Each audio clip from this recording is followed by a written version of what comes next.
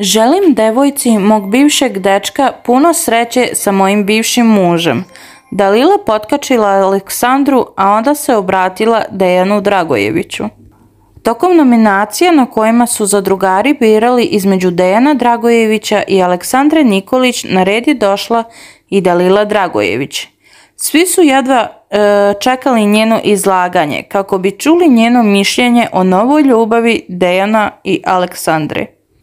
Dalila je svojim izlaganjem pomutila razum gledaocima komentarišujući njihov odnos koji su zamršeni, jer je Aleksandra bivša careva devojka, a Dejan bivši muž. Nemam neko preterano mišljenje i ne bih da kvarim sreću. Drago mi je da je moj bivši suprug srećan i da ne gledam ga u onakvim situacijama. Izvinjavam se za ponašanje i mnogo mi je krivo što sam se onako ponašala kada sam se zaljubila.